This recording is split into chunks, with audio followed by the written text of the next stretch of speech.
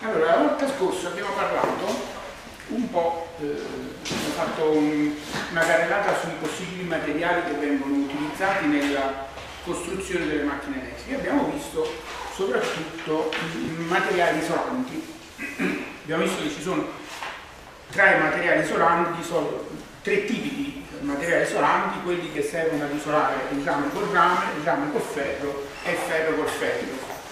E questo perché il rame e il ferro, che sono i due principali componenti, diciamo così, gli elementi conduttori della corrente elettrica e gli elementi conduttori del flusso magnetico, sono i due principali elementi che eh, vengono utilizzati nella costruzione e realizzazione dei convertitori elettromeccanici, cioè, cioè di quegli apparati, di quegli apparecchi, di quei sottosistemi che sono utili alla conversione dell'energia elettrica in energia meccanica e viceversa. Come già vi ho accennato, praticamente tutte le macchine elettriche hanno la possibilità di essere reversibili, anche se qualcuna di esse, diciamo così, è, è più adatta a, essere, a, funzionare in un certo modo piuttosto che in un altro. Eh, quindi i materiali conduttori e i materiali magnetici a questo punto diventano i principali costituenti di una macchina elettrica, anche se, questo ve lo dico per farvelo ricordare, ehm, ciò che condiziona la vita di una macchina elettrica è il materiale isolante, cioè l'unico materiale che si degrada con il tempo è il materiale isolante, più che con il tempo con la temperatura, cioè una dipendenza forte ovviamente tra tempo e temperatura. Quindi ci sono anche altri elementi in una macchina elettrica, quelli meccanici, cuscinetti, eccetera, eccetera, che sono sottoposti ad usura, degrado, eccetera, eccetera, però dal punto di vista, diciamo così, elettromagnetico, ciò che condiziona fortemente la vita di una macchina è il materiale isolante. Una macchina che viene fatta funzionare a 200, 250 gradi, eccetera, eccetera, muore dopo un po' di tempo perché il materiale isolante perde le sue caratteristiche eh, appunto di isolamento mentre il rame è di ferro, o per meglio dire i materiali conduttori della corrente elettrica e il materiale conduttore del flusso magnetico, diciamo così, hanno caratteristiche abbastanza eh, longevi, non è che si degradano più, più di tanto con il tempo. Ora eh, vedremo questi due materiali, quali sono le loro principali caratteristiche, queste due categorie di materiali quali sono le loro principali caratteristiche dal punto di vista quindi sui materiali magnetici, quali sono le caratteristiche che vengono preferite, cioè che cosa fa di un materiale un materiale utile ad essere utilizzato in una macchina elettrica dal punto di vista del circuito magnetico? E cosa fa anche quello, mh, il materiale conduttore. Allora i materiali magnetici, la loro grande eh, il requisito più importante che fa appunto di questo materiale un materiale utile alla realizzazione di una macchina elettrica è la permeabilità, ossia eh, il rapporto che c'è tra il campo H e l'induzione magnetica B che viene prodotta all'interno del materiale quando appunto questo materiale è sollecitato da un certo campo magnetico H. Vi ricordo dall'elettrotecnica che la eh, permeabilità mu è il rapporto puntuale su H e B. Veramente mu, ve lo ricordate anche meglio di me, è il prodotto tra la permeabilità eh, del vuoto e la permeabilità relativa del materiale. Quindi a questo punto se vogliamo che un determinato materiale abbia la capacità di produrre un elevato valore di induzione B quando sollecitato da un certo campo H è evidente che deve avere un'elevata ehm, scusate qui come solito eh, deve avere un, ehm, un elevato valore di permeabilità relativa ehm, la permeabilità relativa è un numero che quindi può andare da 1 sostanzialmente uno tecnicamente potrebbe essere anche inferiore di uno perché ci sono alcuni materiali che eh, diciamo così eh, hanno eh, delle caratteristiche eh, ehm, che diciamo, sono opposte a quello dei materiali ferromagnetici, però nel nostro caso, nella tecnologia comune, la permeabilità dei relativi è un numero che va da 1, che è ovviamente quello dell'aria, a valori molto elevati, no? possono essere 50, 100, 200, 300, quindi vuol dire che rispetto all'aria quel determinato materiale è in grado di eh, produrre un campo di induzione B 100 volte superiore eh, rispetto a quello dell'aria. Ehm, quali sono i materiali che in natura eh, eh, permettono di avere queste caratteristiche, che hanno queste caratteristiche? Il materiale più comune, è ovvio che possono trovarsi eh, vari elementi nella tavola periodica degli elementi, de, degli elementi e anche tante leghe che possono eh, eh avere queste caratteristiche, però eh, quello che è importante, come al solito, è il rapporto, eh, il, il costo di questi, di questi materiali. E il materiale che in natura è estremamente diffuso sulla Terra e che ha caratteristiche di questo tipo qui è il ferro, mm, già lo sapete dall'elettrotecnica, che ha queste determinate caratteristiche. Eh, naturalmente il ferro però ha anche alcune caratteristiche che però non sono gradite nel momento in cui lo usiamo come circuito magnetico di una macchina elettrica e sono la sua conducibilità elettrica. Noi vogliamo che il ferro sia fortemente conduttore dal punto di vista magnetico, scusatemi se uso questa parola conduttore, eh, perché quando uno parla di conduttore eh, pensa alla corrente elettrica, in questo caso qui stiamo parlando di flusso magnetico, eh, però ha anche purtroppo la caratteristica di farsi percorrere da, dalla corrente elettrica e questa qui è una cosa che noi non vorremmo perché? Perché eh, insieme alla eh, possibilità di condurre il flusso magnetico eh, ehm, il ferro purtroppo tende a riscaldarsi quando all'interno di questo materiale, ovviamente per effetto giallo, eh, si producono determinate correnti, eh, correnti elettriche. Quindi per effetto giallo. Noi vorremmo che ovviamente il materiale non soffrisse, non avesse queste caratteristiche, perché lo vogliamo usare solo come circuito magnetico e non come circuito elettrico. Ehm, e allora come si fa a, diciamo così, a ottenere il giusto compromesso tra conducibilità magnetica, ossia permeabilità magnetica, usiamo una terminologia un po' più corretta, tra eh, permeabilità magnetica e eh, conducibilità elettrica. Andiamo a vedere quali sono i fenomeni che fanno riscaldare il ferro. Come abbiamo visto ci sono le correnti, cosiddette correnti parassitiche, che si instaurano nel ferro pieno nel momento in cui all'interno di questo materiale si, mm, si verificano delle, dei cambi magnetici variabili, quindi variabili nel tempo. Questi fenomeni si sono, fanno sotto il nome di correnti parassite e abbiamo due tecniche che ci permettono di ridurre il fenomeno di riscaldamento causato dalle correnti parassite. Eh, uno è una tecnica metallurgica, cioè ricorrere a delle leghe che ci permettono di aumentare la resistività del ferro. E allora si, che cosa si fa? Si fanno delle leghe in ferro silicio.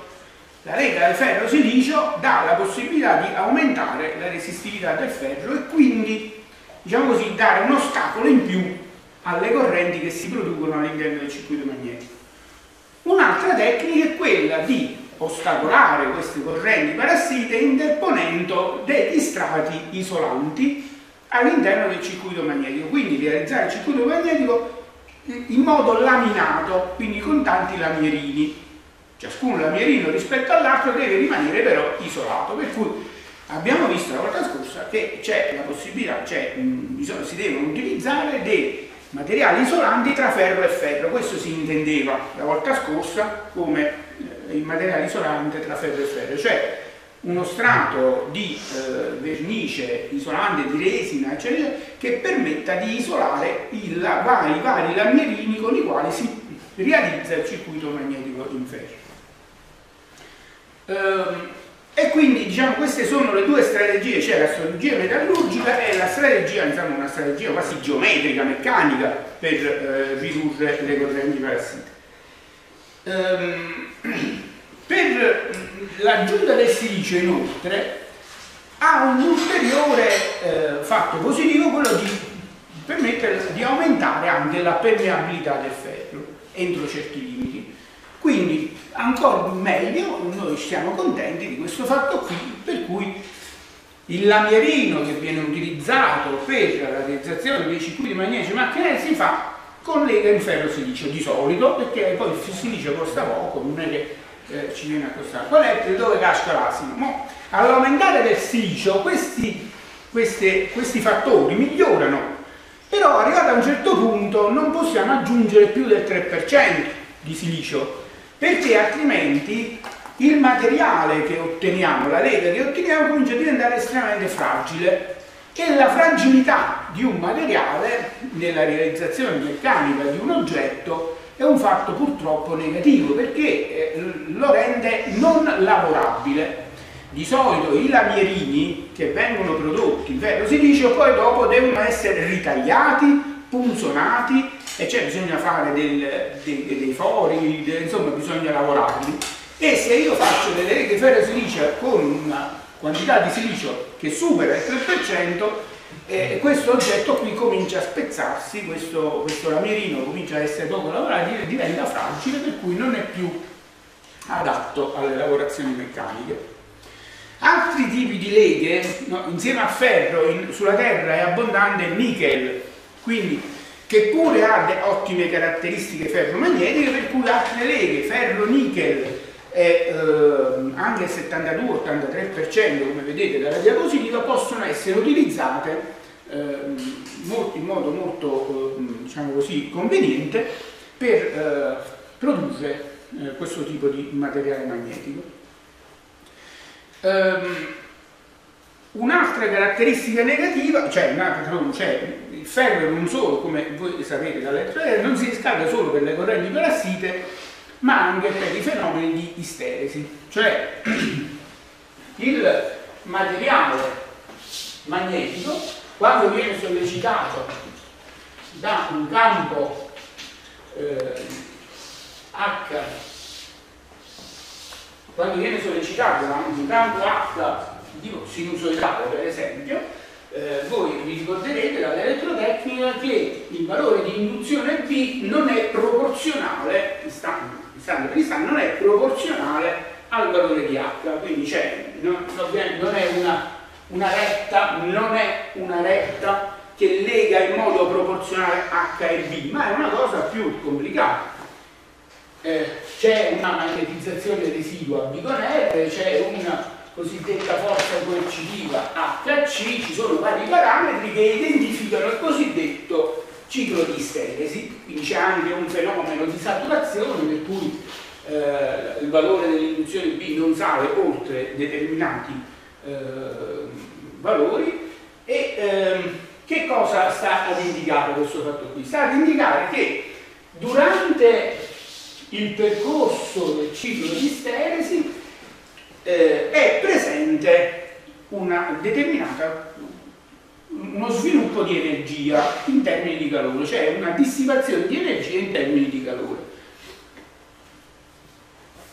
E ehm, questo fatto qui eh, in un certo modo è abbastanza eh, difficile da, da risolvere, no? perché mentre le correnti parassite noi avevamo trovato anche il metodo per eh, diciamo così ostacolarle qui dobbiamo andare a trovare l'unica strada è, rimane ancora quella metallurgica cioè andare a trovare delle leghe particolari che in qualche modo riescono a ridurre diciamo l'area sottesa eh, all'interno di questo ciclo di stesi perché quell'area lì in qualche modo è proporzionale alla quantità di, eh, eh, diciamo alla potenza che viene dissipata all'interno del eh, nucleo eh, di ferro, all'interno del materiale. E quindi facendo nell'integrale ovviamente poi all'energia che uno perde in un determinato intervallo di tempo. Ora, perdite per istesi, per correnti parassite, in certo modo abbiamo la necessità di eh, farne una misura, eh, trovare un parametro che ci permetta di capire, eh, a seconda del numero, se un determinato materiale eh, è migliore o peggiore dal punto di vista delle perdite. E quindi viene introdotto il, la cosiddetta cifra di perdita che, come eh, ho scritto nella diapositiva, è la potenza, ovviamente potenza attiva, si intende, potenza attiva assorbita da un chilogrammo di materiale sollecitato da un valore di induzione ehm, sinusodale a 50 Hz pari alla lunghezza di un Tesla, valore di picco. Allora questo numero è appunto la cifra di perdita, è un numero che fa capire quanto un materiale si riscalda di più rispetto a un altro eh, perché ha determinate caratteristiche diverse, perché ha, certe caratteristiche che sono diverse. Um, non è una caratteristica solo della lega, ma è proprio una caratteristica anche dell'intero materiale, nel senso che se io ho un blocco realizzato alla Mierini, quel blocco alla Mierini può avere una cifra di perdita eh, migliore, quindi più bassa, rispetto allo stesso blocco di, con lo stesso materiale ma realizzato in ferrovia. Quindi in, nella cifra di perdita ovviamente rientra poi tutta la caratteristica del materiale, anche il fatto se esso è fatto in lamierino oppure no. Oppure di quanto è lo spessore del lamierino, più sottile il lamierino di solito migliore è la cifra di perdita, più bassa è la cifra di perdita, quindi la, il fatto che sia realizzato con lamierino eh, il, la cifra di perdita ne tiene conto di questo lato. Ok, quindi questo per quanto riguarda i materiali magnetici. Ora salto alcune diapositive per eh, arrivare soltanto a questa, che è una rappresentazione del, del, eh, di, di, questa curva, cioè della eh, della curva di prima magnetizzazione che lega il campo H all'induzione B perché ha una forma leggermente diversa rispetto a quella che io malamente ho disegnato alla lavagna perché l'asse delle ascisse è rappresentato in forma logaritmica quindi eh, vedete che parte da un determinato valore di campo magnetizzazione che ricordo si esprime in ampere su metro e eh, mi, eh, sulla, sull'asse delle eh, ordinate invece è riportato il campo B espresso in Tesla. Naturalmente questa eh, rappresentazione è diciamo, compressa eh, perché in forma logaritmica per cui voi vedete eh, un paio di flessi, c'è un cambio di, di derivata qui, un altro cambio di derivata qui, ma è soltanto una questione di diciamo così, rappresentazione geometrica eh, logaritmica, eh, in realtà quella curva eh, può essere simile a quella che ho disegnato io, quindi esiste effettivamente un, una saturazione, mentre qui sembrerebbe avere l'impressione che il campo B poi dopo salga eh, vertiginosamente chissà dove, ma non è così. Se ci sono domande su questi argomenti, posso andare avanti? Ora, Parliamo dei materiali, abbiamo visto in realtà soltanto un paio di diapositive sui materiali magnetici, parliamo un attimo dei materiali conduttori. Eh, già prima vi ho detto che queste sono le due principali, principali categorie di materiali che vengono utilizzati nelle macchine elettriche. In realtà in qualunque macchina elettrica il, il campo di corrente, cioè la corrente che circola nei conduttori, e noi usiamo spesso la parola ramo perché ovviamente è ovvio che il ramo diciamo, è il materiale principe nel, eh, nel, nell'utilizzo utilizzato per, per, realizzare questo circuito, vi disse la volta scorsa anche in certi casi l'alluminio, però parliamo di rame, eh, e il ferro eh, lavorano, in, lavorano, sono eh, disegnati, sono messi tra di loro eh, concatenati all'interno di una macchina elettrica, come se fossero gli anelli, due anelli di una catena. Ora, geometrie, la geometria di due anelli di una catena voi ve l'immaginate, molto facile da immaginare, da comprendere, da, da, da, da capire. In realtà poi dopo questa geometria può essere cambiata in funzione di determinati requisiti, non ultimo il fatto che una macchina elettrica deve poter girare, due anelli di una catena tra di loro sono concatenati e non possono ruotare se non di pochi gradi, no? Invece in una macchina elettrica si deve avere la possibilità che uno, eh, un elemento della macchina elettrica deve poter ruotare continuamente proprio per produrre l'energia meccanica, quindi questo, già solo questo fatto comporta eh, una maggior complessità delle, eh, delle geometrie eh, con le quali il campo, eh, il, il campo di corrente e il campo magnetico tra di loro si concatenano, ma poi alla fine si tratta pur sempre di un concatenamento vero e proprio tra i due oggetti. Eh, I materiali conduttori quindi utilizzati anche loro devono poter avere dei requisiti, certo non posso usare il legno per dire una stupidaggine eh, per, per, fare un materiale conduttore. E naturalmente qual è la caratteristica un materiale conduttore? In certo senso è un po' inversa eh, e, contraria a quella di un materiale ferromagnetico. Qui abbiamo bisogno di una bassa resistività, perché questo, sempre perché vogliamo fare in modo che eh, le perdite joule siano poche. E in questo caso qui, visto che deve circolare una determinata corrente nel materiale conduttore, più bassa è la resistività e meglio ottengo questo, eh, eh, più basso saranno le perdite per effetto joule.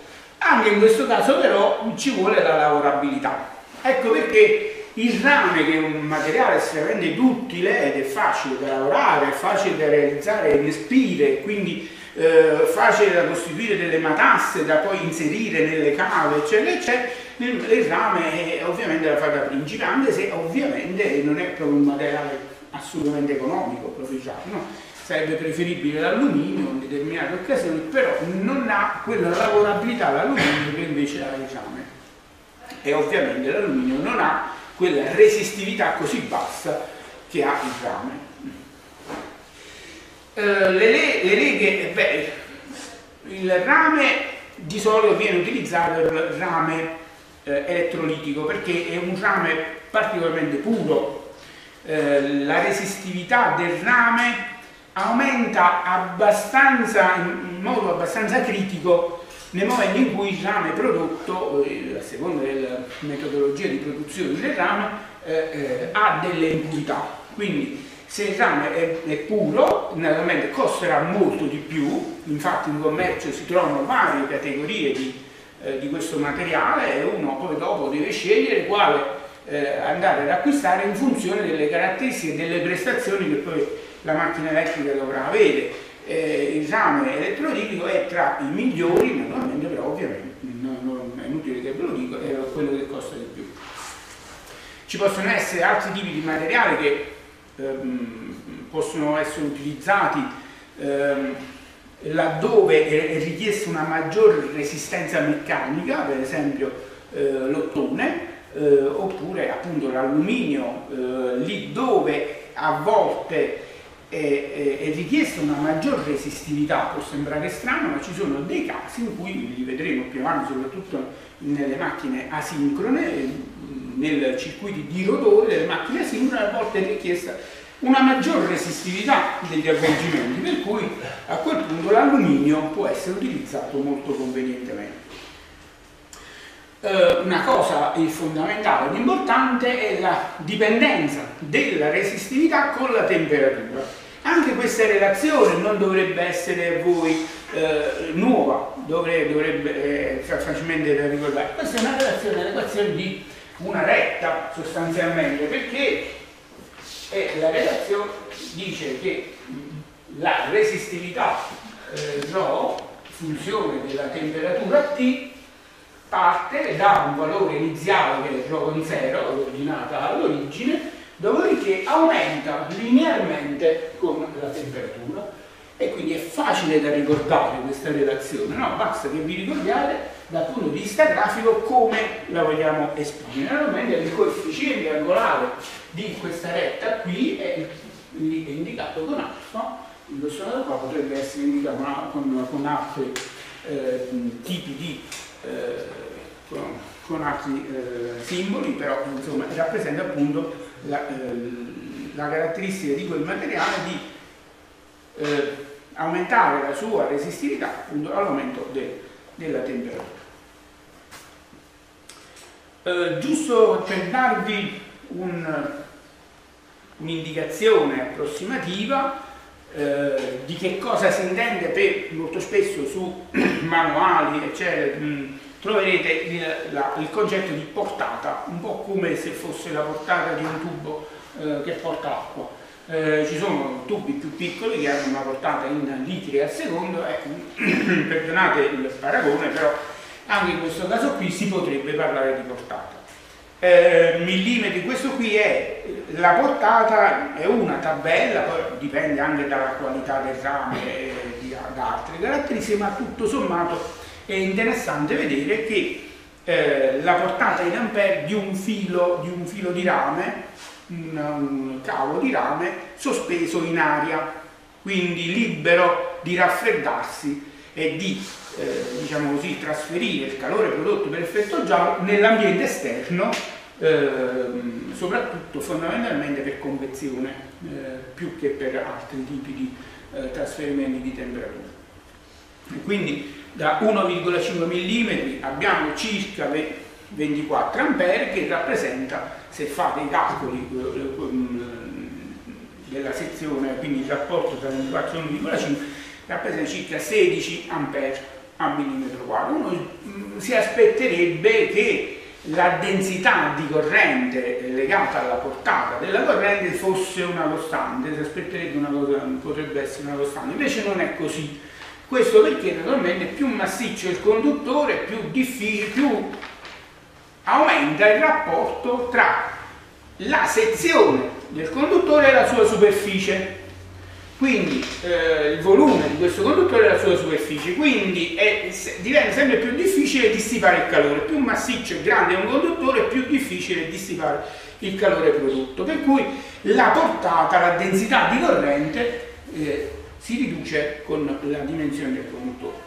Va da sé che questa tabella non ha grosso significato per i conduttori che sono messi uno a fianco all'altro eh, per i conduttori che fanno parte di una matassa, per i conduttori che sono inseriti nelle cave di una macchina elettrica, perché lì la dissipazione del calore eh, ovviamente non avviene solo per convezione naturale, eh, anzi direi che per conduzione naturale non avviene per niente, condutto, ma avviene per conduzione, cioè del materiale del, del conduttore tramite l'isolamento verso il ferro della macchina e a sua volta dal ferro della macchina fino alla superficie esterna della macchina. Quindi è tutta una, diciamo così, un, un circuito eh, termico attraverso il quale ci sono varie resistenze termiche di cui teoricamente si deve tenere conto per calcolare eh, come e quanto calore posso dissipare dal conduttore fino all'esterno.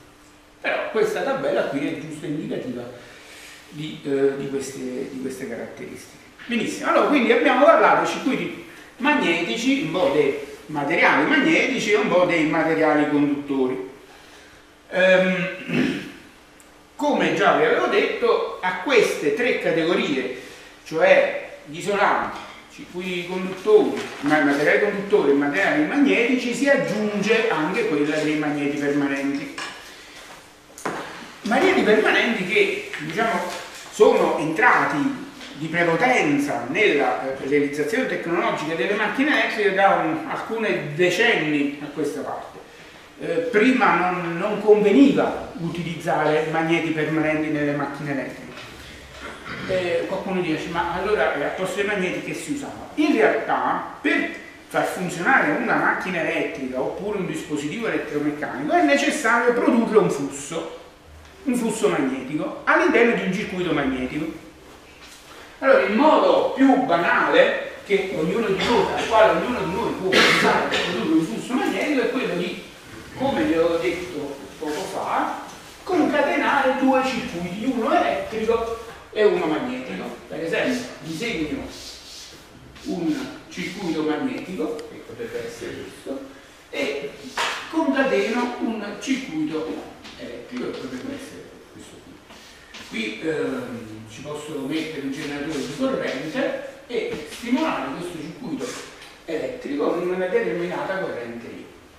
Allora, ehm, dalle leggi dell'elettrotecnica voi mi insegnate che eh, l'induzione D è uguale a proporzionale al campo H il campo H eh, è legato al, ehm, alla forza magnetomotrice prodotta da questo circuito magnetico perché c'è un'altra legge che mi dice che il numero di spire n moltiplicato la corrente I, quindi n per I che è la forza magnetomotrice, è uguale alla, ad H per la lunghezza media del circuito magnetico. È una legge, diciamo così, approssimativa perché ovviamente le le linee di flusso di questo circuito magnetico si svilupperanno non necessariamente in modo uniforme all'interno del circuito magnetico, addirittura non necessariamente tutte nel circuito magnetico, possono esserci delle linee di flusso che se ne vanno fuori da quel circuito magnetico,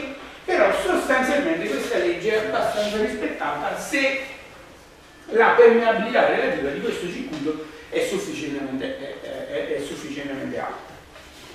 E quindi andando a sostituire H in questa relazione abbiamo che questo sarà uguale a mu per n per i diviso L con n.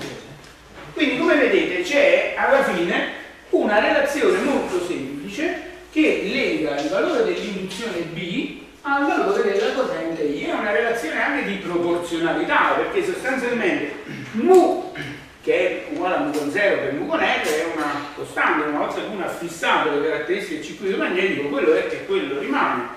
Numero di spire n pure è una costante, la lunghezza media del circuito magnetico è una caratteristica geometrica e se non si deforma questo circuito magnetico, alla fine eh, anche quella è una costante. Quindi c'è un legame di proporzionalità tra il campo B che si produce all'interno di questo circuito magnetico è la corrente che mostra. Questo si chiama metodo, come si chiama, cioè possiamo chiamarlo noi, metodo amperiano, perché c'è una corrente in ampere che produce un campo B.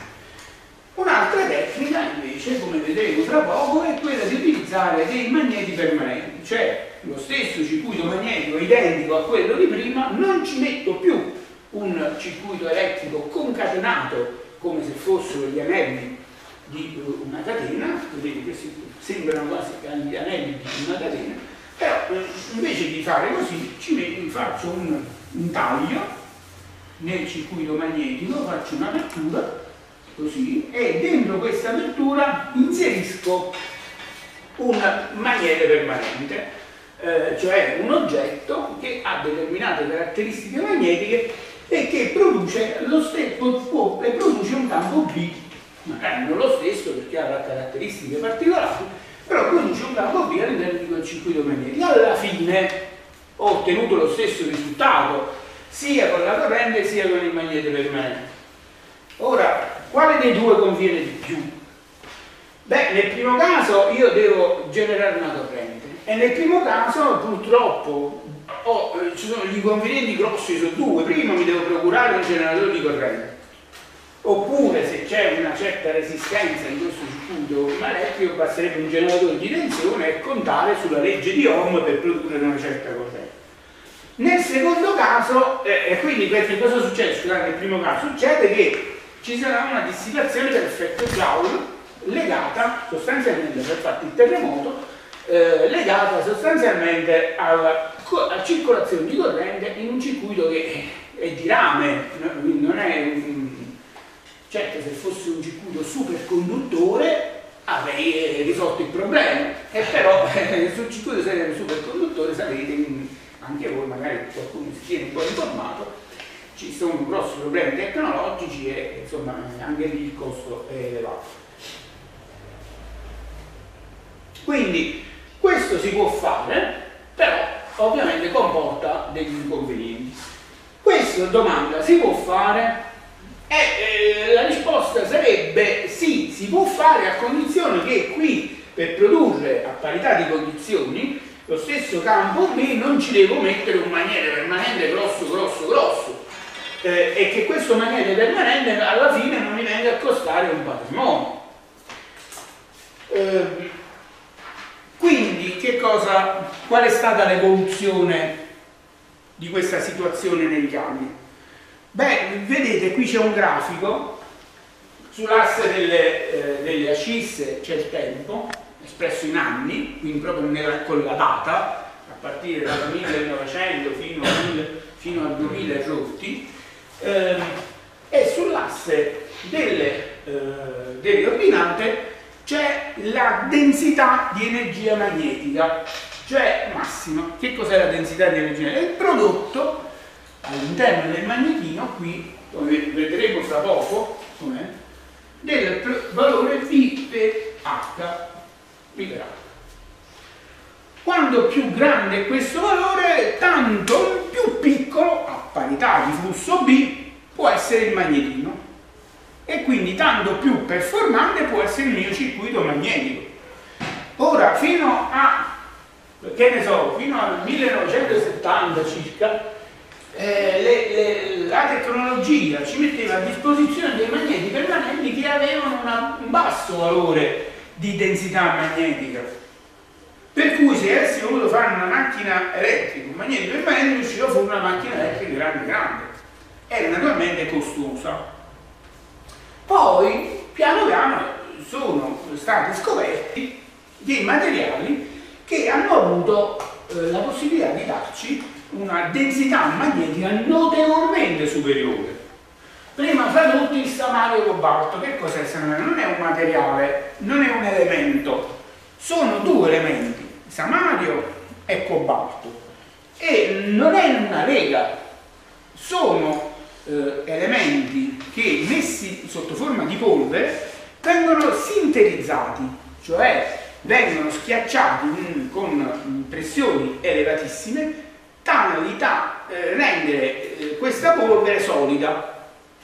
Quindi eh, una volta fatta questa operazione eh, si eh, ottengono dei magneti permanenti che hanno valori di B per H che raggiungono, superano anche eh, i 30 qui l'unità di misura è un'unità di misura imperiale, cioè quella americana, mega Ørsted che mh, mm, può essere eh, mh, cambiata in eh, quella eh, metrica.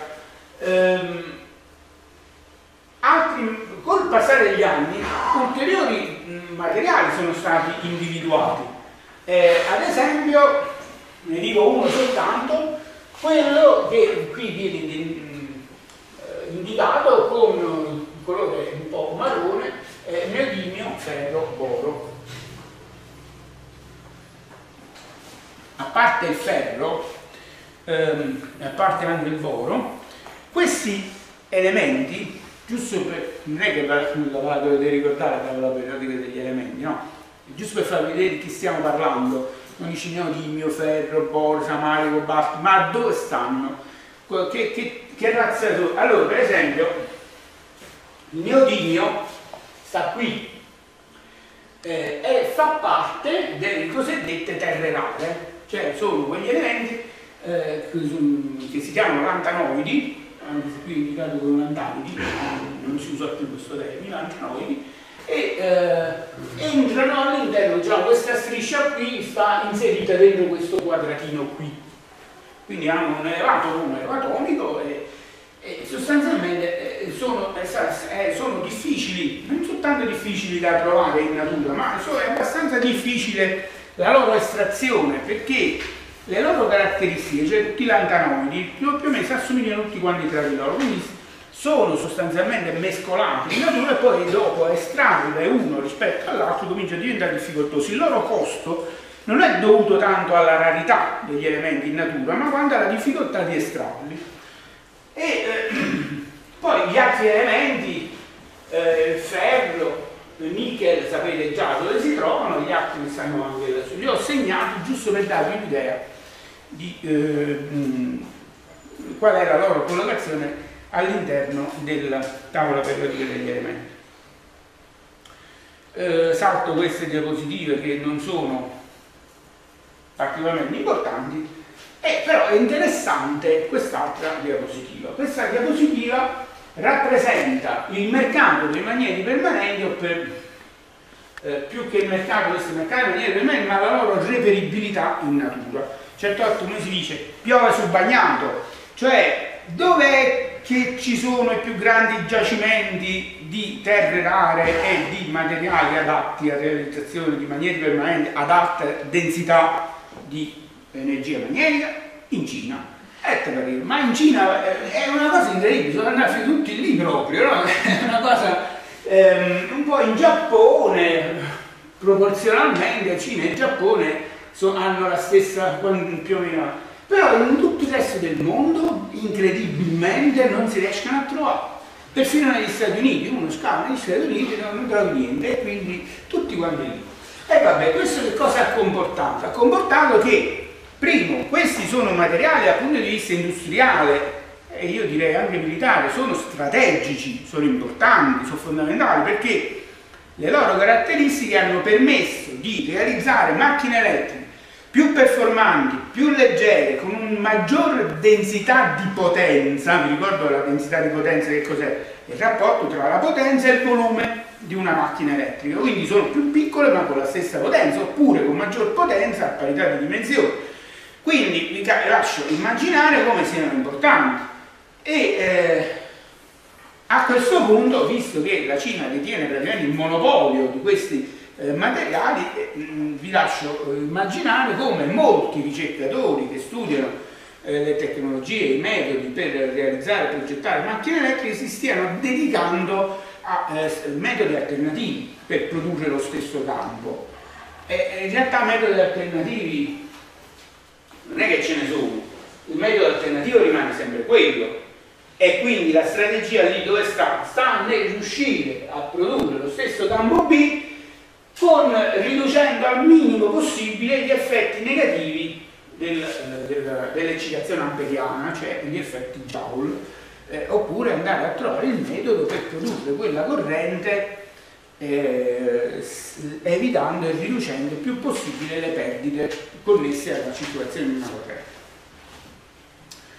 Um, qui c'è un'altra diapositiva che vi fa vedere anche l'aumento del prezzo, del costo dei magneti permanenti che si è verificato insomma, negli ultimi decenni, non sono diapositive proprio aggiornate a ieri, però insomma io questo ho trovate. Però questo, il prezzo, voi sapete, mi insegnate, non è l'unico legame con la domanda, cioè è logico, maggiore la domanda più sale il prezzo, anche se non c'è una correlazione sempre di proporzionalità, può dipendere da tanti altri fattori, no? però come vedete qui il prezzo è salito eh, davvero notevolmente che fa capire che la domanda mondiale di questi oggetti sia salita altrettanto in modo repentino. Benissimo, con questo per il momento abbiamo, eh, diciamo così, ehm, chiuso sulle questioni materiali, però ora andiamo un poco, poco più sul tecnico cioè vediamo un attimo un magnete permanente come viene caratterizzato dal punto di vista magnetico. Io l'unica cosa che vi ho detto finora è che è importante la densità di energia eh, magnetica, quindi il prodotto biverato. Ma questo che vuol dire? Beh, allora, un magnete permanente, eh, abbiamo visto, è un oggetto prodotto dalla sinterizzazione di eh, uno o più elementi eh, però uno quando fa la sintetizzazione non è che in maniera permanente nasce già un magnete, cioè eh, uno produce questo gessetto, per dire che anche questo credo sia più o meno sintetizzato, qualcosa del genere, comunque gesso compresso, e eh, facendo, immaginando che al posto del gesso ci fosse neodimio, ferro, boro, questo qui non, non nasce magnetico, non nasce magnete permanente. Per magnetizzarlo bisogna sottoporlo ad un ciclo di magnetizzazione, di prima magnetizzazione, cioè bisogna metterlo in un campo magnetico ad elevata intensità e fargli, fargli seguire eh, una caratteristica di prima magnetizzazione che voi potete vedere qui sulla curva tratteggiata rossa. Dopodiché togliendo con gradualità il campo magnetico che è stato necessario per produrre il campo di prima magnetizzazione, il magnete permanente non ritorna sulla caratteristica di prima magnetizzazione, non si sarebbe chiamata prima eh, magnetizzazione, ma ritorna su una linea sostanzialmente eh, retta ehm, che intesse l'asse delle ordinate eh, B, dove è segnato il campo B, e anche l'asse delle ascisse dove è segnato il campo H. In buona sostanza, eh, ridisegno questo, eh, questo diagramma qui alla lavagna,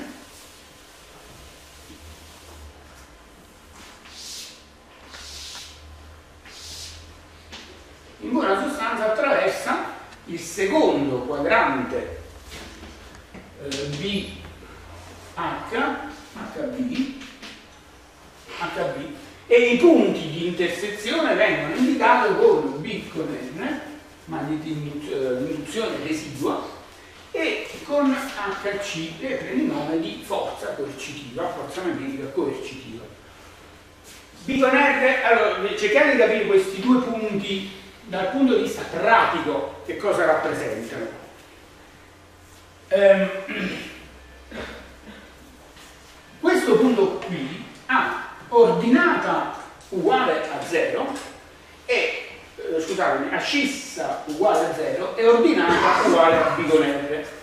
Dire che c'è l'ascissa uguale a 0 vuol dire che il campo H è nullo. Allora immaginiamo quello che è successo al nostro magnete permanente durante il ciclo di prima magnetizzazione. Facciamo finta che eh, abbiamo realizzato un circuito magnetico così di tipo amperiano qui abbiamo fatto circolare una corrente quindi qui ci sarà un generatore di corrente e qui in mezzo abbiamo messo il nostro materiale sintetizzato neodimio, ferro, boro non F bo, come era bo ora questo oggetto qui, quando la corrente eh, viene eh, fatta circolare, non fatta circolare proprio tanta, perché il valore del campo H deve essere molto elevato, eh, dopodiché questa corrente viene tolta gradualmente. Quindi alla fine avremo un circuito che è molto simile a questo qui, cioè, nel quale avremo un magnete permanente che allora, noi prima mettiamo la corrente, poi la togliamo. Quando l'abbiamo tolta, questo rimane un circuito senza corrente. Un circuito senza corrente che lo disegno a fare? Va bene? Quindi la differenza tra circuito magnetizzato e circuito non magnetizzato, quindi campo H uguale 0, qui abbiamo campo H uguale a n cioè d diviso L con M, linea magnetica eh, eh, del circuito magnetico che poi, come vedremo sempre fra poco, coinciderà con H uguale N per I diviso L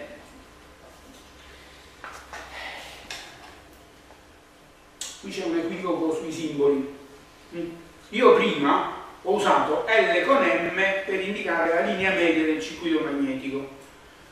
Ora vorrei indicare la lunghezza del magnete permanente. Vorrei indicare quindi M è lo stesso vertice in tutti e due i casi, no? Quindi a questo punto scrivo L magnete, mag, L mag, va bene? Per evitare confusione tra linea media e lunghezza del materiale permanente. Comunque, alla fine del processo di magnetizzazione io mi trovo in questa situazione. Campo H uguale a 0, H uguale a 0 e che cosa succede? Succede che qui se potessi andare a misurare il valore dell'induzione B troverei un valore di induzione che è diverso da 0 quindi avrei un'induzione B che è uguale a B con F mm. proprio perché il magnetino continua a sostenere questo valore di induzione B con anche se non c'è nessun circuito elettrico che eh, sta eh, producendo eh, H. E quindi mi trovo esattamente in questo punto qui. Come, eh, vediamo di capire invece quest'altro punto qui, dal punto di vista pratico, che cosa mi rappresenta. Che vuol dire HC? Allora vuol dire che ci sta qualche cosa che sta producendo un campo H antagonista al magnete permanente, cioè negativo rispetto alle convenzioni che abbiamo fissato finora, state seguendo? Negativo, e che farà in modo che il valore di B diventi uguale a 0, perché le coordinate di questo punto sono eh, scusate, meno HC e nel virgola B uguale a 0. Metto tra parentesi perché è 0. Mm. E allora, che cosa vuol dire? Vuol dire che per raggiungere questo punto dovrei far circolare nel mio circuito elettrico una corrente negativa, cioè opposta a quella che è stata di prima magnetizzazione. Quindi una corrente che va in questo senso qui. ok? Tale per cui io produco un campo H che è uguale ad HC. Cioè meno HC, un campo H produce meno HC producendo meno HC il punto di funzionamento si sposta lungo questa linea retta fino a raggiungere questo punto e il valore di induzione B, in questo punto qui B diventa uguale a 0, diventa nullo. Chiaro? Allora, gli stadi che io ho immaginato sono tre.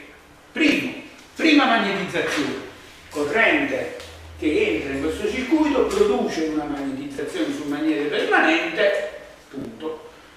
Tolgo la corrente. Togliendo la corrente è come avere un circuito magnetico chiuso, di questo tipo qui, il magnete permanente sostiene un valore di induzione. Quanto vale questo valore di induzione? Vale il bigonello. Terza situazione che mi sono immaginato io.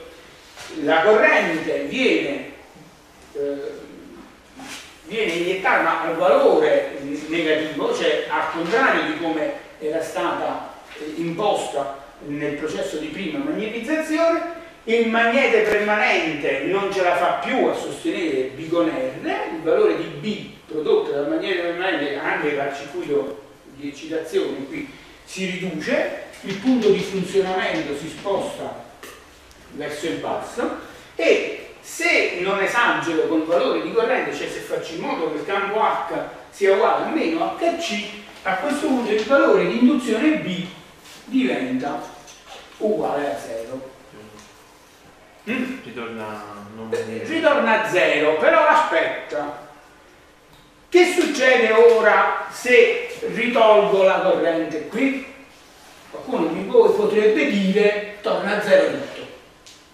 E invece no, perché se tolgo la corrente di nuovo ritorno esattamente in quest'altra situazione cioè il magnete permanente è permanente proprio perché è permanente risostiene è in grado di risostenere di nuovo il valore di induzione B uguale a B con quindi se io tolgo la corrente negativa il punto di funzionamento ritorna qui sopra fino al valore di B con R quindi questa linea qui è una linea che nei circuiti magnetici può essere percorsa in un verso e pure nell'altro e il punto di funzionamento rimane su questa linea. Diverso sarebbe stato il caso se invece di un materiale neodimo ferro qua dentro avessi messo soltanto ferro. Se avessi messo solo ferro, a parte un piccolo ciclo di stesi che voi sapete che esiste, il ferro naturalmente si sarebbe smagnetizzato, quindi sarebbe ritornato al valore originario del, della... Quindi, qua noi cancelliamo il fatto che c'è il ferro. Oh, no, quali sono... Vabbè, qui a destra a voi vi può interessare poco, ma queste sono le varie leghe con le quali vengono realizzati i magneti permanenti. Una delle caratteristiche, vi dico solo questo, eh, a parte la densità di energia che può cambiare da lega a lega, e che mi pare una cosa normale, no? Cioè, figuriamoci se può rimanere proprio la stessa. Eh, quello che è importante tra lega e lega è la capacità di mantenere le caratteristiche magnetiche con la temperatura. L'handicap più grosso dei magneti permanenti è il fatto che sono fortemente sensibili alla temperatura. Cioè se io prendo un magneto permanente e lo surriscaldo tanto, quello smette di essere magneto permanente. Allora, eh, vedremo nel dettaglio questo poi dopo che significa, però questa è una delle caratteristiche dei, degli handicap più grossi dei magneti permanenti. Il sanario eh, cobalto, il sanario cobalto, che purtroppo costa perché il cobalto è, una, è un elemento che è difficile da trovare in natura e costoso, ha una densità magnetica più bassa, ma ha una forte capacità di resistere anche alle alte temperature, per cui ha applicazioni limite, diciamo così, no? Magari viene una macchina elettrica più grossa, con una densità di potenza minore, però eh, è una macchina elettrica che se può funzionare, potrebbe funzionare anche a temperature molto più elevate.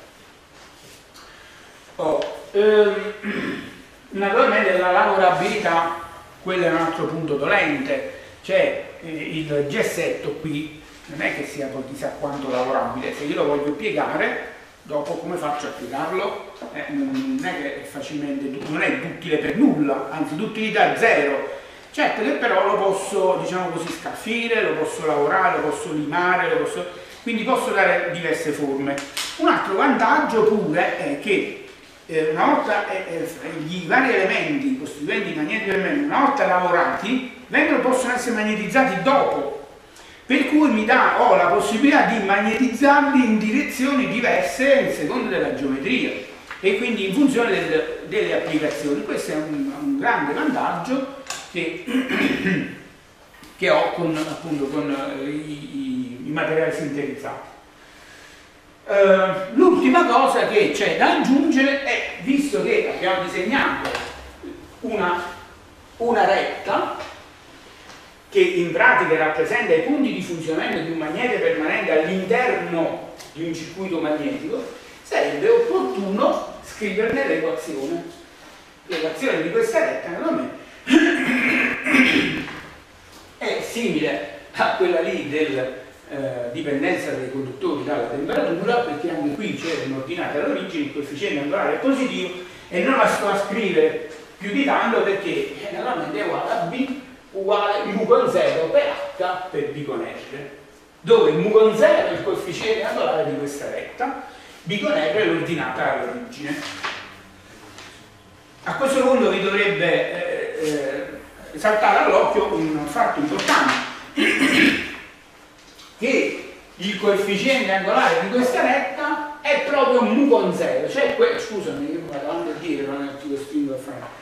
È, è proprio un con zero, quindi questo vi fa capire che in la permeabilità relativa dei materiali sintetizzati, iodio, ferro, cioè tutte queste cose qua, purtroppo non è, non so se purtroppo per fortuna, eh, purtroppo non è eh, maggiore di 1, ma è uguale a 1 la permeabilità relativa, cioè sono come l'aria, tutto sommato, in realtà non è proprio 1, un poco poco di più, ma è talmente trascurabile che nella maggior parte dei casi uno ci mette mu con r che è 4 pi greco per 10, eh, mu con 0 che è 4 pi greco per 10 alla meno 7, anzi non lo scriviamo così ve lo ricordate, mu con 0 è 4 pi greco per 10 alla meno 7.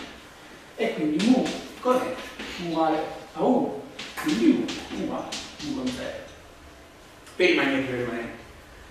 Quindi i magneti permanenti, quando voi lo mettete in un circuito magnetico, dal punto di vista del calcolo della riluttanza di quel circuito magnetico è come se ci metteste aria.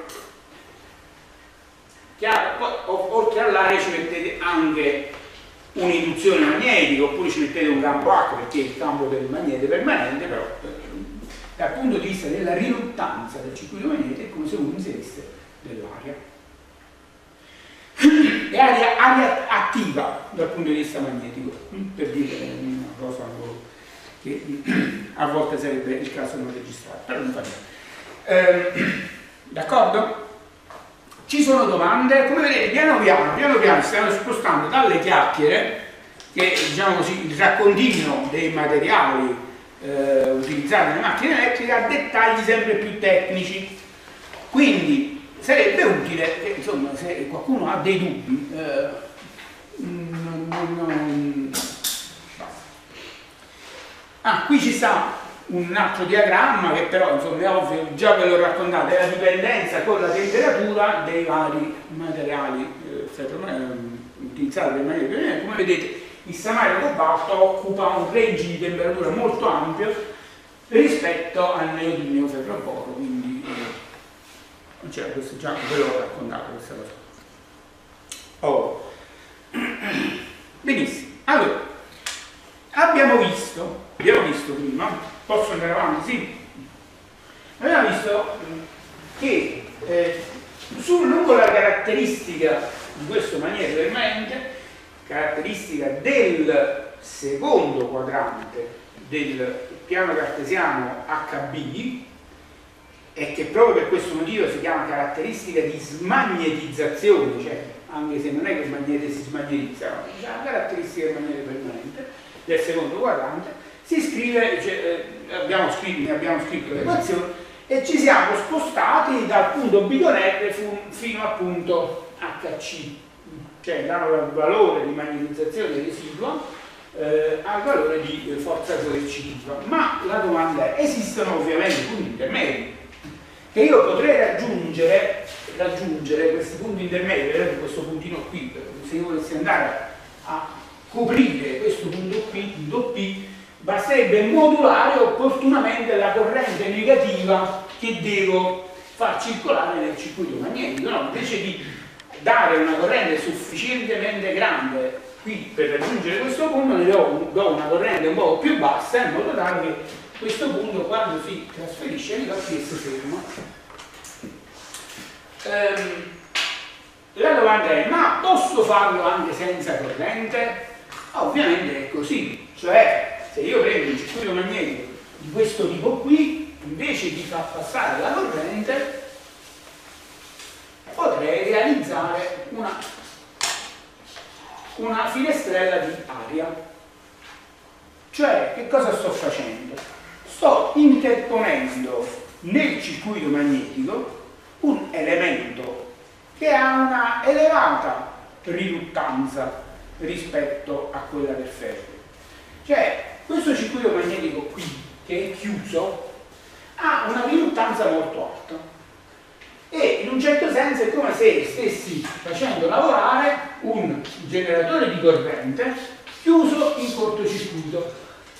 Voi sapete dall'elettrotecnica i generatori di corrente sono contenti di lavorare in cortocircuito, no? Perché hanno la possibilità di eh, eh, far circolare quella determinata corrente con una tensione che è zero, sostanzialmente zero, volendo essere lì. Ma certo, se faccio un cortocircuito come lo faccio? Non è che lo faccio con un materiale superconduttore, lo farò sempre di rame, per quanto grosso e, e, e, bello consistente sia il cortocircuito, in realtà qui sto mettendo una piccola resistenza. La metto R1, scrivo R1, che è una resistenza molto piccola, è una resistenza del filo di rame, no? Poi immaginate prendere la batteria di un'automobile e metterci il filo di rame sopra, passi un sacco di corrente là dentro perché ovviamente è un cortocircuito eh, con un valore di resistenza molto eh, limitato.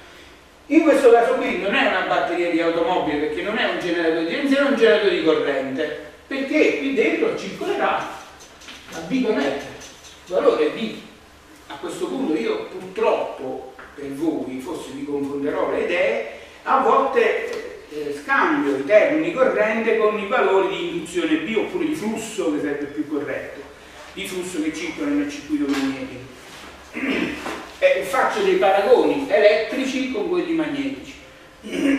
Quello che succede in questo caso qui potrebbe essere paragonato a questo, cioè un circuito, un generatore di corrente che ha una corrente nominale pari a B con R, scusatemi la corrente si dovrebbe scrivere in ampere, in questo caso eh, è ovviamente in Tesla, e attraverso una resistenza che non è ovviamente in ohm, ma rappresenta il valore della riluttanza del circuito magnetico, che è tutta di ferro. E siccome il ferro ha un'elevata permeabilità, eh, ha una bassa eh, riluttanza, vuol dire che ha una bassa riluttanza, una bassa resistenza. E quindi qui dentro ci passa un'induzione di corrente. Che cosa succede se invece, quindi questa resistenza qui siccome è bassa, io la faccio così, punto e basta, no? la, la chiudo e non se ne parla più.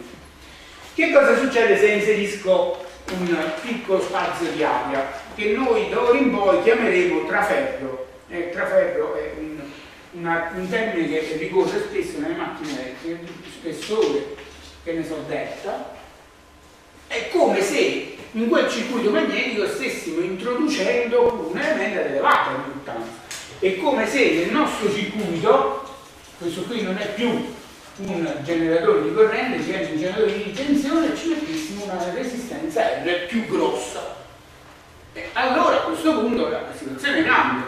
Nel caso di prima, qui abbiamo, potremmo avere anche la resistenza interna del generatore di tensione, vedete, apro una piccola parentesi, no?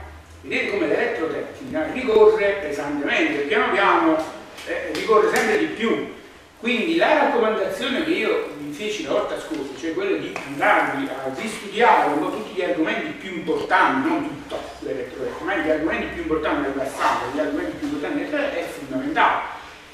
Se avete qualche piccola difficoltà nel ricordare certe cose, anche se sono semplici, vi prego di fermarmi e così magari le eh, ripassiamo insieme e quindi le rivediamo insieme. Comunque in questo caso qui che cosa succede? Succede che il valore di corrente qui non sarà più il valore di corrente I sarà dato dal valore di tensione V diviso R più R che è la serie delle due resistenze. Eh, qualcosa di simile succede anche in questo caso qui. Prima cosa, la prima cosa da dire è che la riluttanza di questi tratti di circuito magnetico in ferro di questi tratti di circuito magnetico beh, viene ora trascurata rispetto alla riluttanza dell'aria. Perché la stessa cosa succedeva qui. Noi prima, quando abbiamo calcolato la corrente eh, nel circuito elettrico, non abbiamo mica tenuto conto della... Abbiamo, cioè, scusate, abbiamo inizialmente tenuto conto della resistenza del filo, ma quando ci abbiamo messo la resistenza edge, non ci è mica venuto in mente di dire ah ma guarda pure il collegamento qui c'è una resistenza. Pure questo collegamento qui c'è una resistenza. No, l'abbiamo trascurato l'abbiamo trascurato di proposito magari non ci abbiamo pensato ma l'abbiamo fatto la resistenza delle connessioni. Quindi abbiamo immaginato questo circuito come un circuito ideale formato soltanto da generatori di tensione magari con la resistenza interna R con I con la resistenza esterna R, ma per noi i collegamenti sono collegamenti ideali, quindi di resistenza nulla. E la stessa cosa facciamo qui. Quindi questo circuito magnetico, la caduta di tensione magnetica ai capi di queste connessioni in ferro viene trascurata rispetto alla caduta di tensione magnetica ai capi del ferro. Mm. Ecco allora come i due circuiti magnetici possono scrivere due relazioni leggermente diverse. Nel primo circuito magnetico, visto che ci sta solo il ferro, la resistenza del ferro non è che la possiamo trascurare, sta solo quella, eh, come vedrebbe? Vedrebbe un, una cosa per cui la caduta di tensione il, il, il teorema di Kirchhoff, secondo teorema di Kirchhoff, allora, scusate io ogni tanto mi ricordo e vi, devo dire delle cose. Ve li ricordate i teoremi di Kirchhoff? Che sono importanti. Il primo teorema di Kirchhoff dice che in un nodo la somma di tutte le correnti convergenti in quel nodo è uguale a 0. E che quindi io li devo sommare con questi segni per convenzione, perché altrimenti non sarebbe uguale a 0. Secondo il teorema di Kirchhoff dice che in una rete complicata come volete voi, individuato un percorso qualunque, la somma di tutte le tensioni sui rami che compongono questo percorso, prese sempre nel senso orario o antiorario, come scegliete voi, non ha importanza, basta che voi scegliate uno di questi sensi, la somma di tutte queste tensioni è uguale a 0. D'accordo? Questi teoremi di Kirchhoff valgono anche per i circuiti magnetici, tali e quali. Quindi in quel circuito magnetico, in questo circuito magnetico qui, che cosa devo scrivere? La tensione del generatore, cioè HM per L con M, la tensione, il circuito elettrico sarebbe la tensione V, il circuito magnetico è la, è la, tensione, è la tensione magnetica, cioè H per L. Mm? Quindi la HM che L con M deve essere uguale alla caduta di tensione magnetica lungo tutto il circuito magnetico che è indicato con HKLK vabbè punto. Naturalmente la somma delle due deve essere uguale a 0 ehm, in un circuito invece di questo tipo qui siccome tratturiamo le cadute di tensione magnetica lungo i tratti di un ferro dovremmo scrivere che la tensione magnetica HM per L con M, dove HM è il campo H del magnete, L con M è la lunghezza del magnete permanente, L con M, ora non è più la linea media, fatemi scrivere solo M piccola e basta, non mi fate scrivere MAG perché non, non mi viene, più la caduta di tensione magnetica ai cavi del traferro, che lì viene indicato come Hg per Lg, deve uguale a 0. Mm. Qualcuno potrebbe dire, io sono rigoroso al 100%, per cui qui ci andrebbe pure più H il tratto 1, H1 per L con 1, più H2 per L con 2, che sono le cadute di tensione magnetica su questi due pezzi di circuito di ferro, io non gli potrei dire di no, c'hai ragione, però se vado a vedere quanto valgono questi termini qui sono proprio piccoli rispetto agli altri, per cui ovviamente noi non ce li mettiamo, così come non li abbiamo, non ci siamo mai sognati di metterli anche nei circuiti elettrici, ma la legge di Kirchhoff dei circuiti elettrici. Ok. Ah, quindi, molto spesso nelle diapositive allo scopo di non farvi fare lo sforzo di sfogliare la diapositiva, vedere la penultima e poi l'ultima, quella di mezzo, eccetera, eccetera. Io faccio copia e incolla dell'ultima relazione della diapositiva precedente in quella nuova. Qui ci sta B, U con 0 H più B con R che è copia e incolla della diapositiva precedente.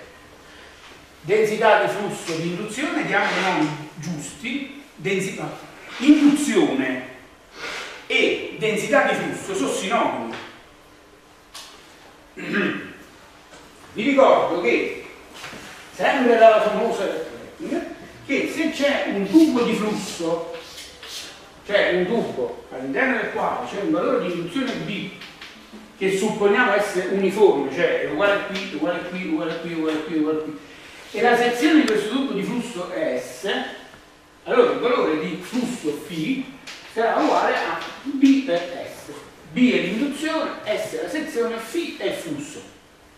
Mm? È evidente allora che se faccio B diviso S, cioè, scusate, Φ diviso S, ottengo B, a questo punto B è il rapporto tra il flusso e la sezione, e cioè la densità di flusso. Mm? Ecco perché a volte densità di flusso e induzione B eh, ovviamente sono sinonimi. Densità di flusso è la traduzione un po' dall'inglese all'italiano perché in inglese eh, l'induzione non è un termine usato, si, si, dice flux density in inglese. Eh, flux density ovviamente tradotto in italiano è densità di flusso e quindi molto spesso capita questa terminologia densità di flusso, no, per me va bene anche induzione eh, campo magnetico H e induzione residua B con R. Queste le equazioni di questa retta rossa qui, di questa retta rossa qui. Solo nel secondo quadrante. Veramente potrebbe essere nel primo e nel secondo quadrante, perché poi dopo nel terzo quadrante quella non è più una retta, eh, si, si, si, flette, cambia direzione e non sarebbe più una retta. Quindi è ovvio che questa relazione qui vale solo nel secondo quadrato, se no, no non è più relazione di una retta. Ehm, andiamo avanti.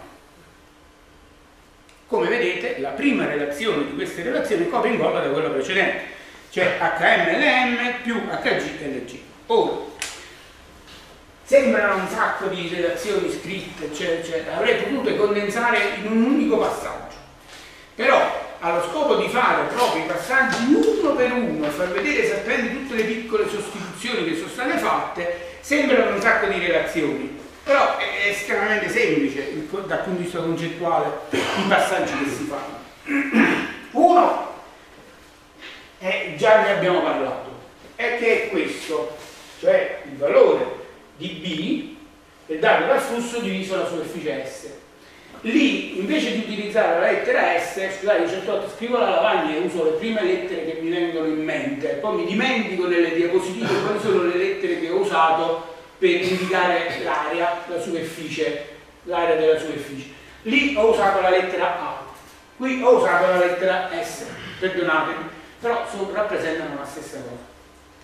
Allora, che cosa si vede lì? Beh, la prima cosa che si vede è che nel circuito magnetico eh, BG per AG deve essere uguale a BM per AM. Che vuol dire? Noi stiamo supponendo, stiamo supponendo che tutte le linee di flusso che passano, che attraversano il magnete permanente, rimangono convogliate, confinate all'interno del circuito magnetico e attraversano il traferro. Che non ci stanno linee di flusso che se ne vanno altrove, che non ci siano flussi dispersi. Vi ricordavo, forse anche questa avete studiato elettrotecnica, i flussi dispersi, qualcosa del genere, no, non, non l'avete fatto, non fa niente però le linee di flusso, il campo magnetico, diciamo, ha l'abitudine ogni tanto di uscissene fuori dal circuito che uno gli ha programmato, gli ha costruito intorno, no, se ne vanno per altro. Noi stiamo escludendo questa possibilità, cioè stiamo dicendo, guarda, le linee di flusso stanno tutte confinate nel circuito magnetico. Allora che vuol dire? Che se il flusso φ è sempre lo stesso,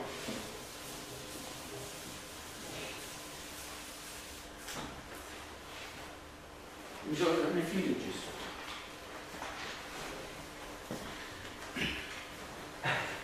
Immaginate di avere un tubo di flusso che è questo qui e a un certo punto si allarga e fa così. Eh, che cos'è che rimane costante? Lungo questa sezione qui e lungo questa sezione qui. Facciamo, facciamo finta che è un tubo dell'acqua, che prima è grosso e poi è piccolo. E vuol dire che la portata di acqua che sta qui deve essere uguale alla portata di acqua che sta qui, questo non sfugge. Nel mio caso magnetico, perdonatemi questi paragoni eh, proprio terra-terra, nel caso magnetico quello che rimane costante è il flusso, quindi chi in questa sezione qui, chiamiamola sezione 1 e questa sezione 2, φ con 1 e con 2 devono essere uguali, il flusso è sempre lo stesso, perché abbiamo immaginato che questo tubo non abbia perdite è un po' la stessa cosa che abbiamo detto prima, non ci sono linee di flusso che se ne vanno altrove. Se Figon 1 è uguale a Figon 2, allora bisogna vedere la velocità con la quale l'acqua cammina qui e la velocità con la quale l'acqua cammina qui.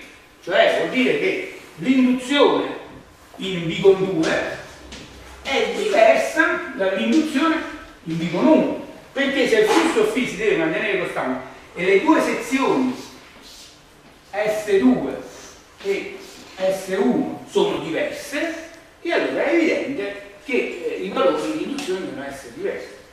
Che cos'è che rimane costante?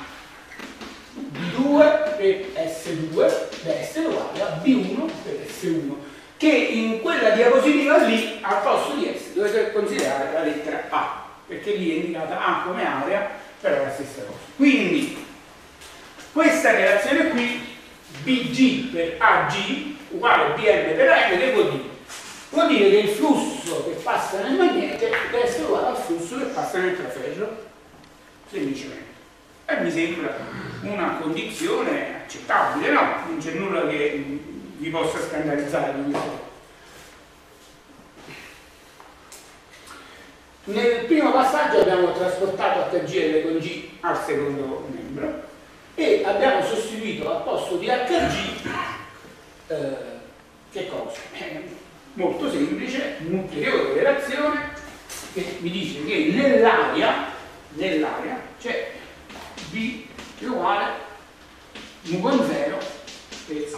No, nell'area al posto di B sta BG, al posto di H sta HG e quindi abbiamo semplicemente sostituito HG con BG diviso mu con 0. Vi trovate? Mm. Oh. Dopodiché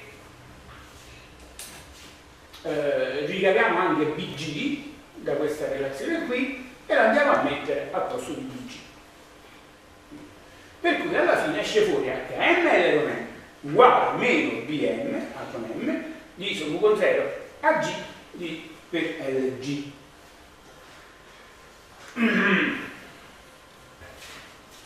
Facciamo un piccolo rimaneggiamento di questa cosa. Cioè, portiamo B con M al primo membro, dopodiché portiamo tutto il resto al secondo membro, va bene? Per cui spero che voi non abbiate difficoltà a vedere come questa relazione qui e questa relazione qui siano le stesse. PM è rimasto qui, allora U con 0 a G, U con 0 a G è stato portato sopra, HM L con M, HM L con M li troviamo qui, L con G va sotto, eh, che c'è rimasto più? Niente più. Perché abbiamo fatto questo rimaneggiamento? Perché noi vorremmo esprimere questa relazione qui, questa relazione in una forma canonica di una retta. La forma canonica di una retta è uguale a y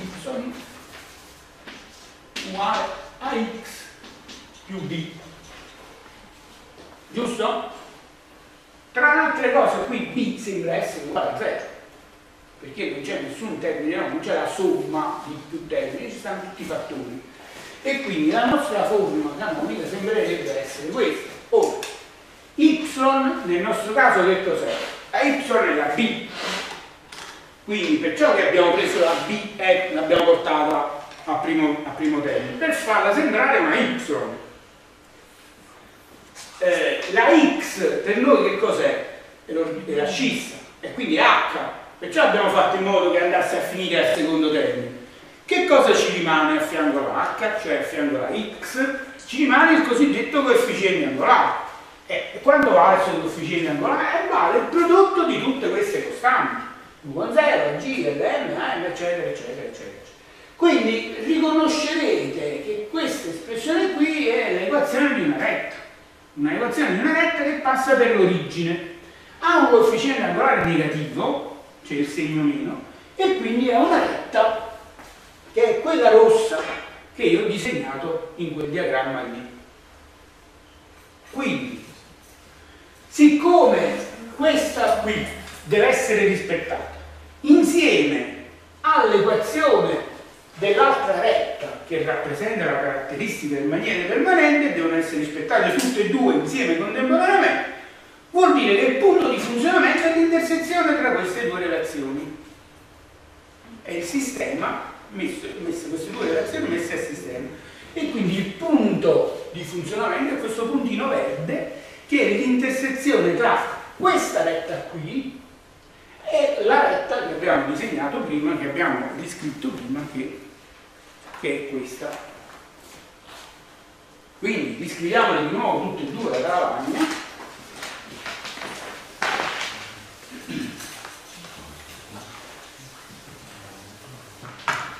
Allora, la prima retta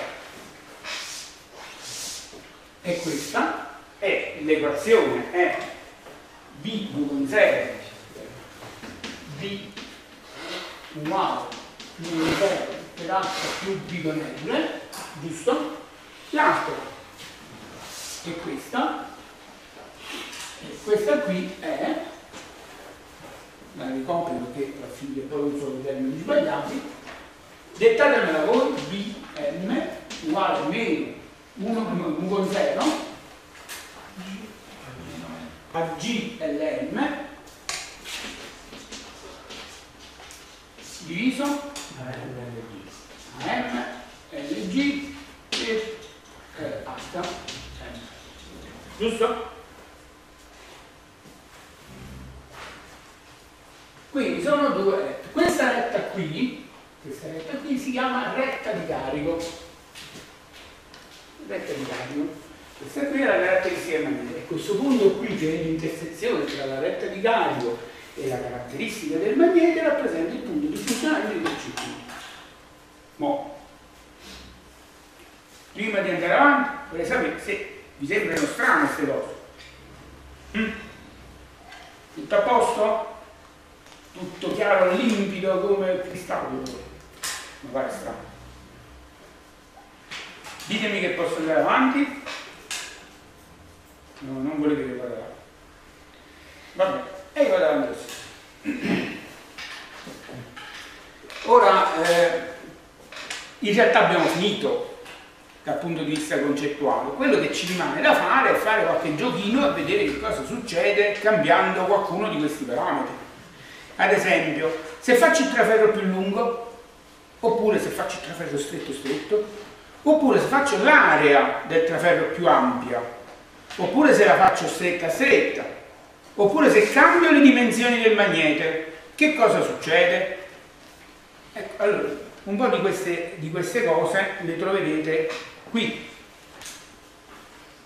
Allora, questi che vedete ora sono alcuni piccoli esempi di quello che succede se, partendo da una situazione iniziale che era prima, il primo disegno, che cosa succede se faccio VG, cioè il traferro, eh, no, cioè il magnete più stretto. Se faccio il magnete più stretto, il punto di funzionamento si sposta verso l'alto. Perché lo dico? Perché A con M è un coefficiente, direi un coefficiente angolare più grande, sta al numeratore, e quindi il punto di funzionamento si porta verso l'alto. Che cosa succede se faccio il magnete più stretto, cioè più eh, di spessore minore, diciamo così, per non confondermi con la, la stessa frase di prima, di spessore minore, eh, che il punto di funzionamento si porta verso il basso, eh? perché naturalmente L con M mi pare che sta al denominatore, se mi ricordo bene. No, sta al numeratore. Che cosa succede, se, partendo sempre da una condizione iniziale che è questa, che cosa succede se faccio eh, VG, LG, cioè la lunghezza del traferro più, più corta, più stretta? Allora in questo caso qui se LG diventa più piccolo il punto di funzionamento è sotto questo alto non vi sto a dire che succede la stessa cosa se faccio con G. Quindi queste cose perché dici ma a noi ce ne importa tutto questo fatto qua? E eh no ce ne importa perché? Perché ritorno un attimo metto un attimo questa diapositiva qui e ci rendiamo conto che in base alla posizione del punto di funzionamento cambia un parametro importante. Di quale parametro sto parlando? Sto parlando della densità di, eh, di energia magnetica, quindi dell'energia magnetica specifica, nel traferro. Perché fino a ora abbiamo parlato della densità, eh, cioè dell'energia magnetica specifica nel magnete permanente, ma anche nel traferro ci sta un campo H e ci sta un'induzione eh, B, quindi c'è un prodotto B per H, quindi una energia magnetica specifica. Eh, nella progettazione delle macchine elettriche, allo scopo di sfruttare il più possibile il magnetico permanente, si deve cercare di far andare nel traferro quanta più energia magnetica possibile. Allora, uno potrebbe che faccio? Uno faccio un traferro grande grande, eh, oppure cioè, con un'area molto ampia. Eh, ma il punto di funzionamento si sposta, bisogna vedere dove sta spostando, verso l'alto o verso il basso. Oppure faccio un traferro stretto, stretto, stretto, molto sottile, molto di spessore molto limitato. Eh, vai a controllare un attimo che cosa succede all'energia specifica, all'energia eh, magnetica specifica nel, nel traforo. L'ideale sarebbe ottenere sempre il massimo possibile. E allora, se io devo ottenere sempre il massimo possibile, può darsi che ci sia un ottimo tra le varie possibilità. Andiamo a vedere che cos'è. Allora, l'energia specifica, l'energia magnetica specifica è sempre B H. Quindi, per un determinato punto di funzionamento, non è altro che il prodotto della scissa e dell'ordinata di quel punto di funzionamento. E il prodotto della scissa e dell'ordinata di quel puntino verde non è altro che l'area di questo rettangolo. Mm. La domanda è, ma se io sposto quel punto verso l'alto, quel rettangolo diventa sempre più stretto. Al limite, l'area di quel rettangolo diventa uguale a zero. E se sposto il punto di funzionamento sempre più verso il basso, succede la stessa cosa. L'area di quel rettangolo diventa nulla. Allora io scavo nella mia memoria di eh, analisi 1 e mi ricordo un teorema di analisi 1, non so che voi vi guardate così tra di voi ci va, questo non ci vuole fare, ci vuole fare passare pure 1. No. C'era un teorema che si chiama il teorema di Rolle, che, si, che, è legato al teorema di Weierstrass, non lo so se queste cose le avete studiate, voi no, mm, penso di sì. E che cosa mi dicevano? Cerco di andare a memoria, quindi perdonatemi, voi ce l'avete sicuramente più fresco di me, perdonatemi se commetto qualche inesattezza. Mi sembra dicesse che, data una funzione continua all'interno di un intervallo chiuso, se questa funzione è nulla agli estremi di questo intervallo, sicuramente c'è un punto intermedio all'interno di questo intervallo che ha derivato uguale a 0. Quindi la derivata uguale a 0 potrebbe significare che o questa funzione è nulla dappertutto, quindi ovviamente anche una derivata uguale a 0, oppure se è variabile sicuramente c'è un massimo, un minimo o ha dei massimi o dei minimi dentro. Quindi questo che cosa mi fa capire? Che siccome l'area di quel rettangolo è nulla ai due estremi, in mezzo da qualche parte ci sta probabilmente un massimo o un minimo, perché so che non è completamente nulla quella funzione, è sicuramente diversa da 0, no? Come mo per esempio è, nulla, è diversa da 0 l'area di quel rettangolo e quindi quell'area di quel rettangolo sicuramente c'è un massimo da qualche parte. Vi trovate? Andiamo a trovare questo massimo, è proprio semplice, è proprio banale. Eh, anzi quasi quasi dovevo fare, fare per alcuni esercizi, però non fa niente. Eh, eh, diciamo. Allora,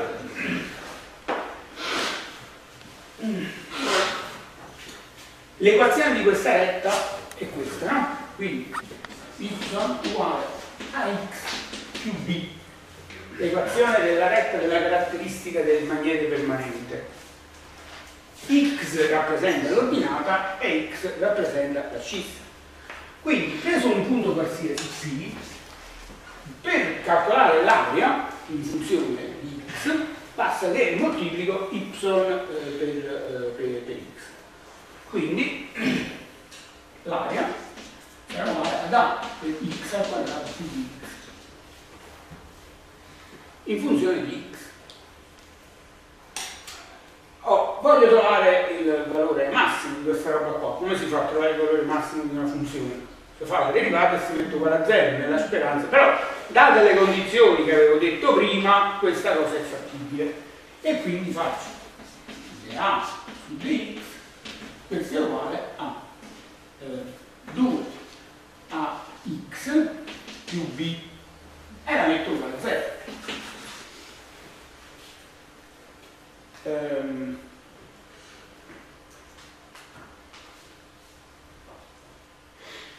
giusto? Per cui x sarà uguale a b diviso 2a. Eh, scusate, eh, sì, ok.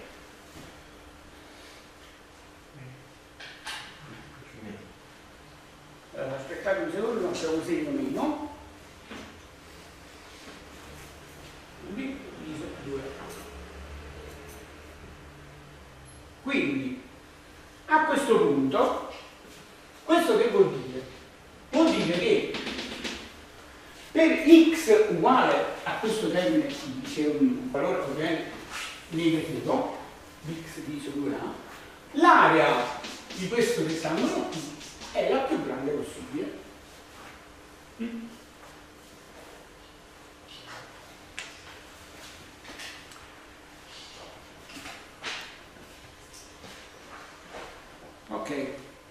eh, quindi l'obiettivo del, del, progettista di Sora, a voi non è che deve essere più di grande, però l'obiettivo del progettista è quello di riuscire a ottenere questo eh, risultato.